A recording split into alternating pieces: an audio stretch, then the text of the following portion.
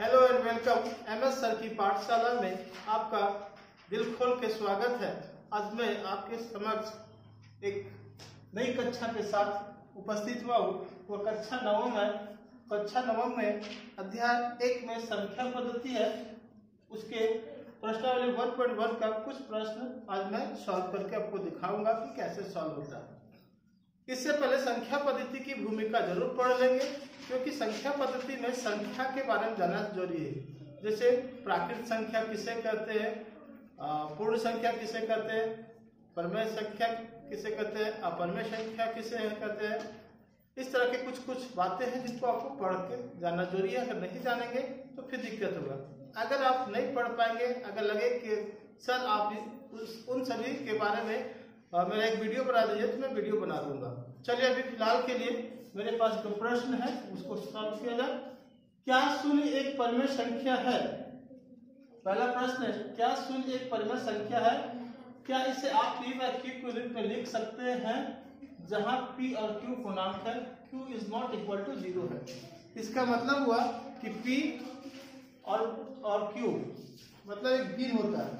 इसका अर्थ ये हुआ कि शून्य एक परमेय संख्या है या नहीं? तो परमेय संख्या क्या होता है? परमय संख्या वैसी संख्या होती है जिसको p बाय क्यू के रूप में लिखा जा सकता है। मतलब भिन्न के रूप में लिखा जा सकता है। तो क्या इसका हल में क्या लिखा जाए?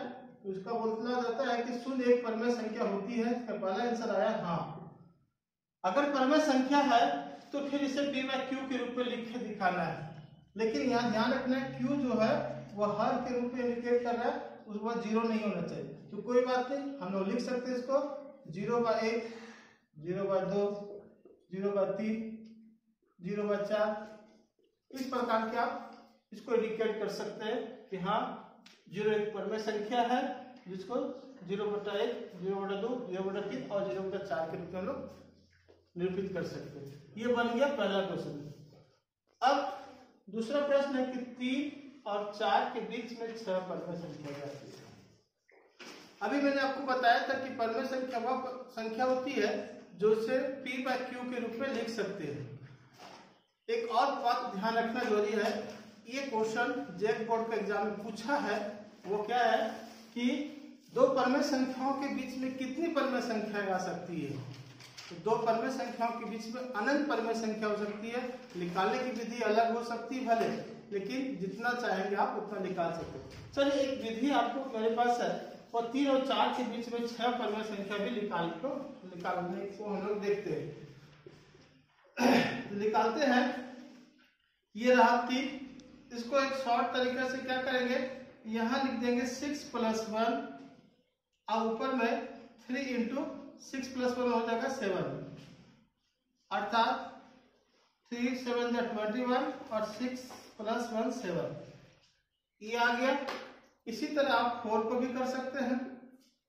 फोर में भी नीचे सिक्स प्लस वन और ऊपर में फोर इंटू सेवन तो कितना हो जाएगा? फोर सेवन ट्वेंटी एट होता है।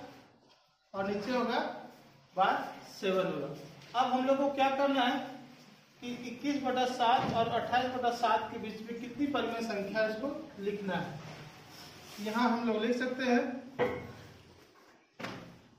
क्योंकि इक्कीस बटा सात और अट्ठाईस बटा सात के बीच स्थित सभी परमेय संख्याएँ। के बीच स्थित सभी परमेय संख्याएँ। तो कौन कौन सा है इसके बीच में स्थित परवय संख्या है? इक्कीस के बाद से काउंटिंग शुरू कीजिए। बाईस बटा सात, फिर आगे बढ़ते जाइए। सताइस बटा सात, चौबीस बटा सात, पच्चीस बटा सात, छब्बीस बटा सात, और लास्ट जाना है सत्ताईस बटा सात। अब हम लोग को कितना पूछा था?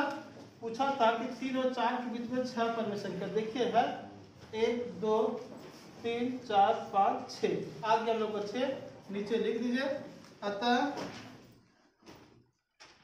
तीन और चार के बीच स्थित छह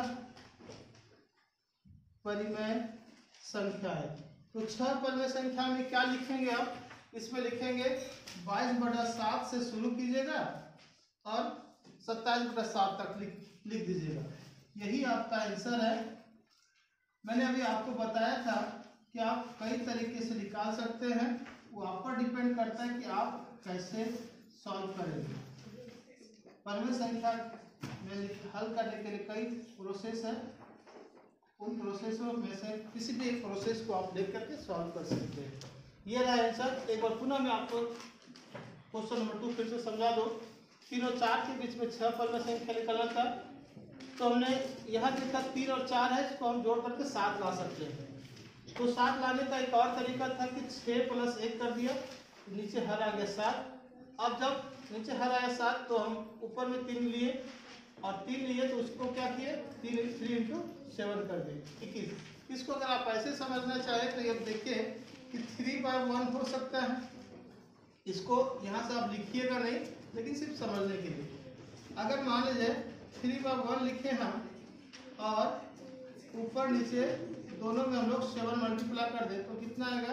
ट्वेंटी वन बाय सेवन ऐसे भी आप ला सकते हैं। एक ये तरीका था, एक और ये एक तरीका है जो आपको समझना चाहिए।